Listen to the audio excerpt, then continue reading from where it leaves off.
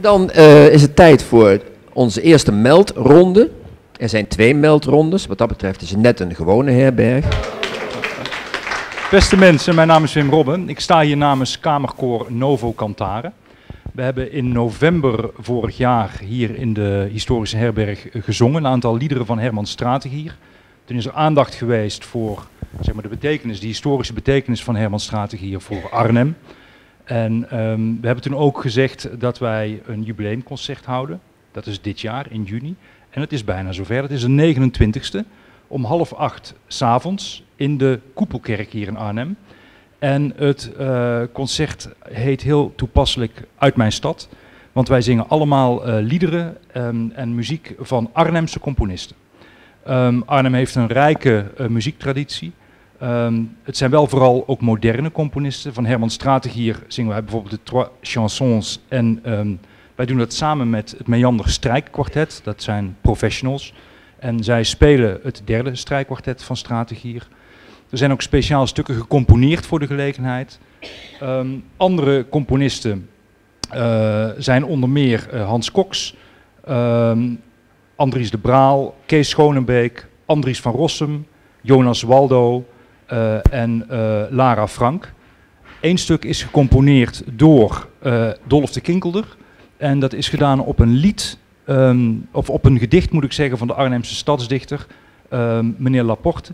En uh, dat is samen met Strijkkwartet. Het is erg de moeite waard. Wim, vertel even over die kaartjes, om de vaart erin te zijn, houden. Uh, zijn, ik sta direct daar achterin. U kunt bij mij een kaartje kopen als u dat wil. U kunt ook gewoon via onze website novocantare.nl kaartjes bestellen. Doet u dat, dan kunt u de kaartjes ophalen uh, bij de kerk, s'avonds, tussen 29 om half acht. Uh, dat is 12,50 euro uh, per kaartje. Koopt u echt, bestelt u niet, maar koopt u pas aan de deur, is het 15 euro. Het moet contant worden afgerekend. Ik zeg er maar alvast bij, we hebben geen pinapparaat. Uh, nee, maar we zijn wat gewend. Dus, ja, nou ja. ja, tegenwoordig zijn we zo verwend dat we vaak geen contant geld meer hebben. Um, ik heb ook wat flyers bij me voor het concert en ik sta direct achter in de hoek. In de Dankjewel, pauze, als u geïnteresseerd bent. Dank Robben. u wel.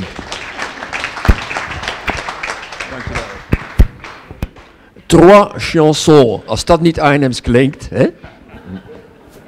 René, jij wil natuurlijk niet voor je eigen presentatie gaan staan. We herinneren ons natuurlijk nog de presentatie over de Arnhemse en Eldense zouaven van de vorige keer. En die eindigde met een uh, vraag die René aan ons stelde en die hij nu zelf gaat beantwoorden. En je maakt mijn presentatie over mijn twee minuten gelijk al een stuk korter, uh, want je maait een hoop gas weg. Overigens is de, de, de PowerPoint uh, precies twee minuten. Dus als je op zwart gaat, dan is het twee minuten voorbij. Vorige keer heb ik u iets verteld over een Ademse jongens en een jongen uit Elde. Ik heb u meegenomen naar Italië en iets verteld over de Zouaven en hun strijd daar voor de kerkelijke staat en de paus in het midden van de 19e eeuw. We kwamen uiteindelijk weer een adem terug en ik liet dit plaatje zien. Mensen die aanwezig waren weten dat nog. En er kwam de vraag, waar is dat vaandel? De laatste keer dat ik het gezien heb was in de schatkamer van de Walburgiskerk en ik moest het antwoord ook, kon ik niet geven. Ik ben in contact getreden afgelopen weken met uh, de parochie, Eusebius parochie, Sint Eusebius parochie. En ik kwam terecht op Eusebius binnensingel nummer 9, het parochiecentrum, of beter gezegd zelfs de pastorie. Ik ben daar geweest, ik kon helaas niet naar de zolder, want daar ligt hij namelijk. Want de pastoor was ziek en die woont op de eerste verdieping. En uh, ze vonden het niet, uh, ja, niet treffend om hem wakker te maken, dat ik even op zolder een kijkje kon nemen. Dus hier moet u het doen. Ik heb nog even rondgelopen. Ik heb nog wat uh, schilderijen mogen bewonderen. En ik kwam ook deze tegen die ik de vorige keer ook meldde. Pastoor Henry van der Loo, de bouwpastoor van de Jozefkerk. En um, over hem, het vaandel, kan ik u vertellen, en uh, meer. En als er mensen zijn die nog iets specifieks willen weten, of iets specifieks van een, uh, een um, spreek mij zo even aan, want ik kan u vertellen dat op 28 november dit jaar een lange versie wordt verteld, nog langere versie wordt verteld, van de voordracht over de zouaven uit Arnhem en Elde. Dus ik ga wat dieper op de materie in. Dankjewel René Maassen.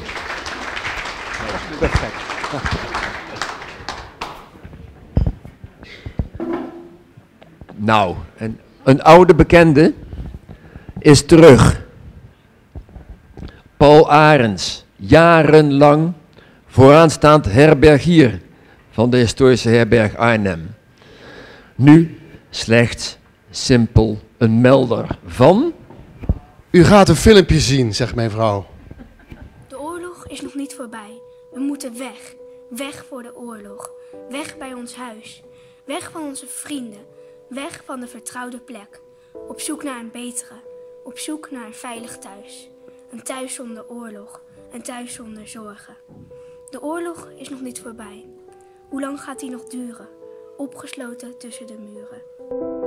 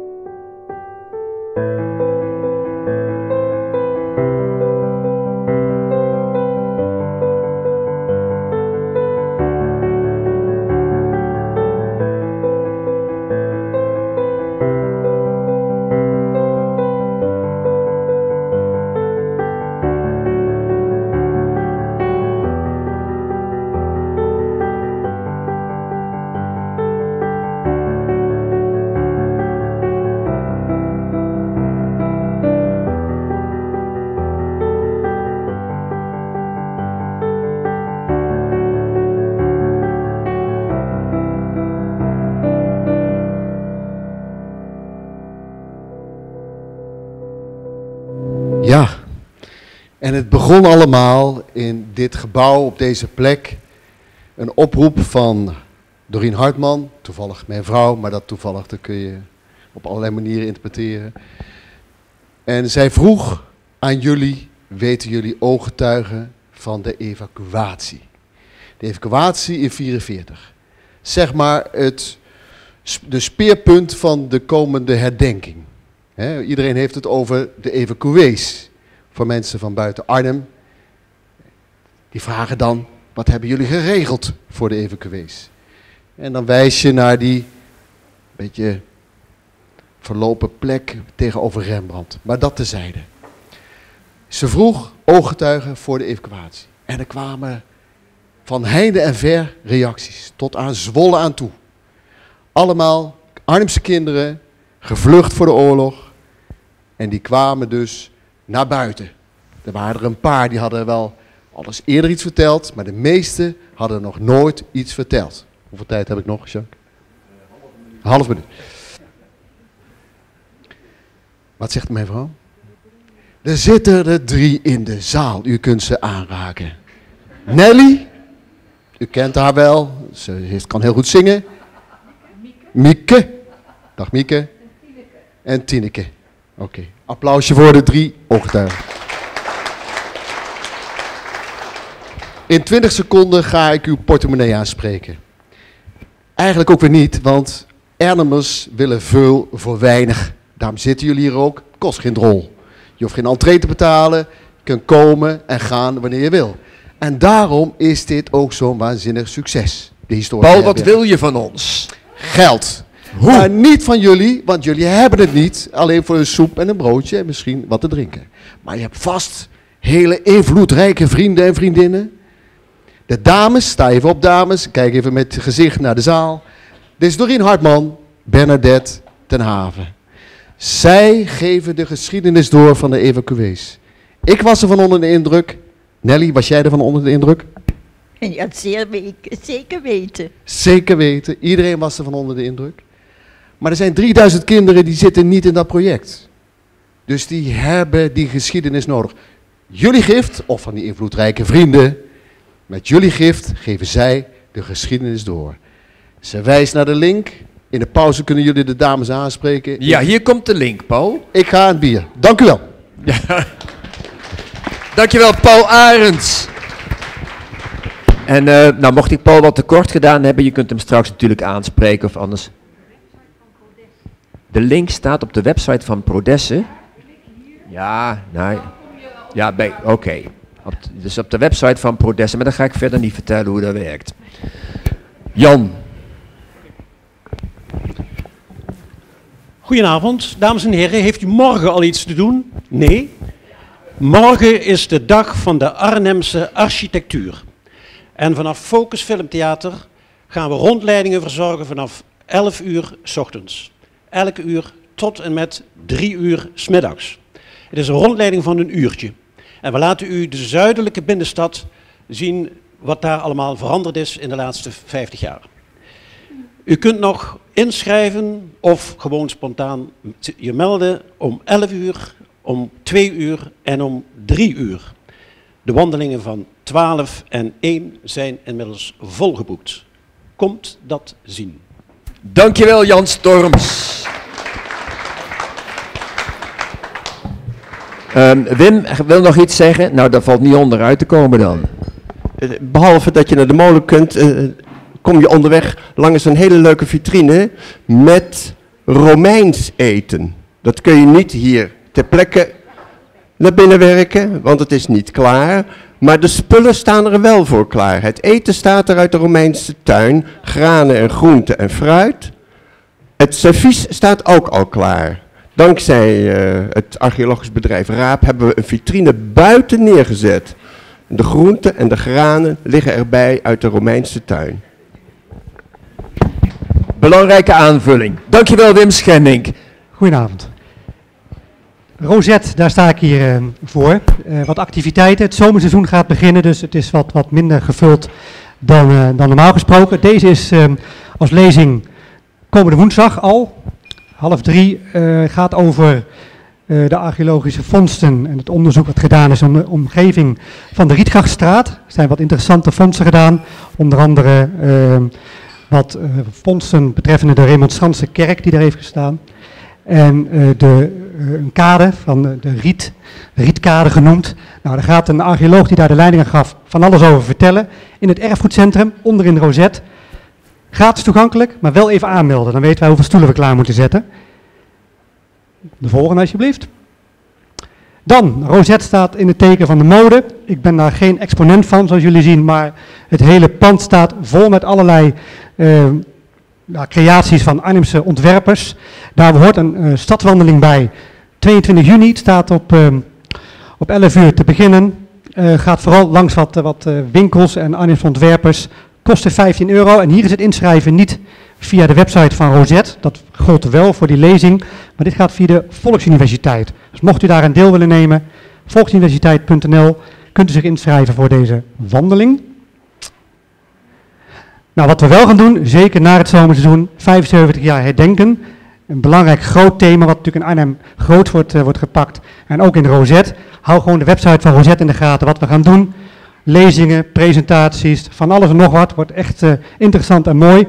En ook voor de agenda al concrete data voor de dag van de Arnhemse geschiedenis. De 13e op een zaterdag in het centrum, Rosette en omgeving. De 14e in Zuid, Arnhem-Zuid. En daar wordt een heel mooi theaterspel opgevoerd van de Bataafse opstand door allerlei reenactors. Voor alle leeftijden moest ik erbij zetten. Dat was hem. Oké, dankjewel Ferry Reuring. Hans Middel.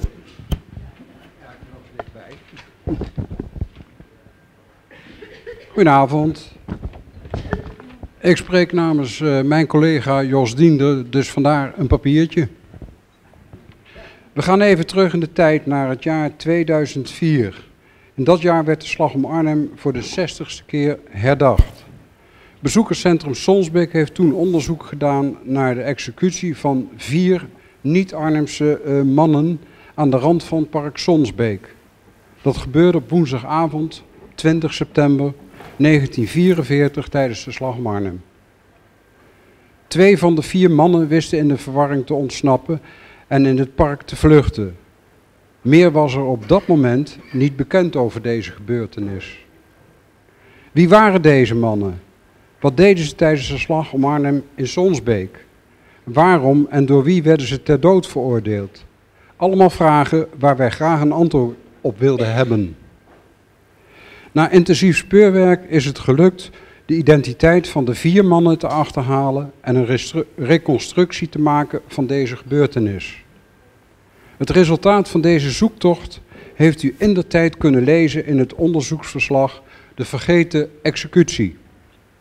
Nu, 15 jaar later, in aanloop naar de 75e herdenking van de Slag om Arnhem, hebben we de resultaten van dit onderzoek in een nieuw jasje gegoten. En wel in de vorm van een audiotour. Een audiotour is een wandeling die u kunt doen met behulp van uw smartphone en een gratis app. Tijdens deze wandeling nemen we u mee naar de plek van de executie aan de andere kant van het park. En onderweg vertellen we u het verhaal van, deze, van dit onfortuinlijke viertal. Een fascinerend relaas over toeval, noodlot en domme pech. U zult echter nog even geduld moeten hebben, de tour is nog niet klaar. En momenteel worden de laatste puntjes op de i gezet. Vanaf 1 augustus is de audiotour De Vergeten Executie beschikbaar en kunt u hem gratis downloaden op uw smartphone.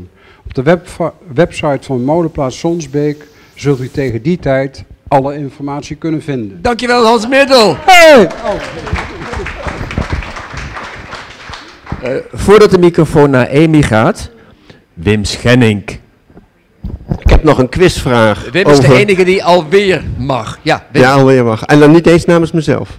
Nog een quizvraag. Het sluiten van huwelijken.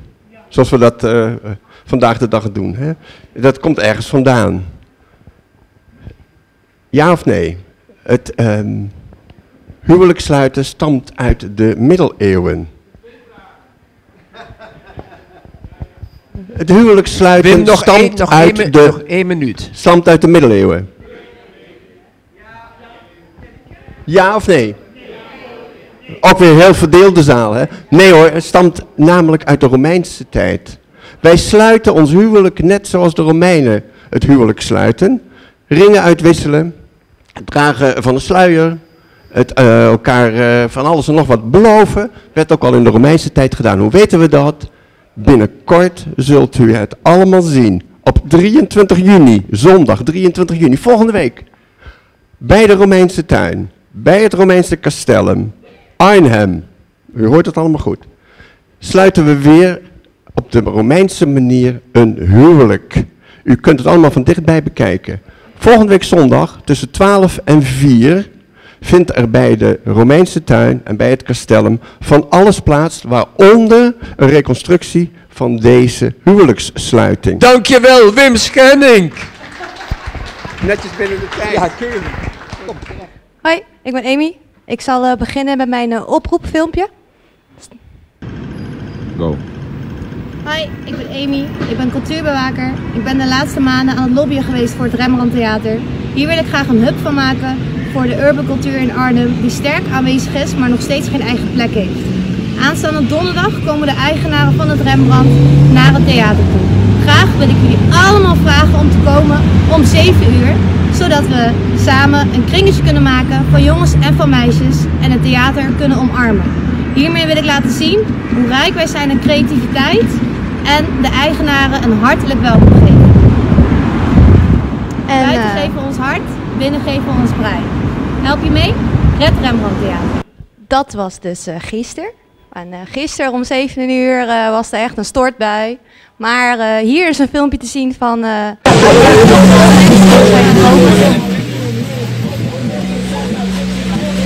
hebben een dansje voor de deur gedaan, de eigenaren hartelijk ontvangen. En daar waren ze heel blij mee.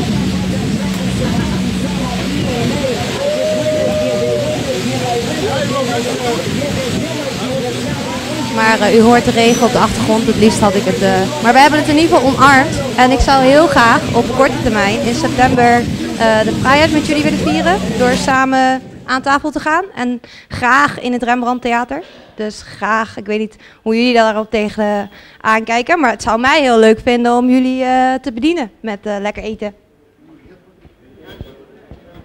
Eh, dames en heren, ik kwam Amy vanmiddag tegen en zoals jullie mij ondertussen kennen, vroeg ik van, hey, wat doet dat bordje bij jou in de zaak? Red Rembrandt.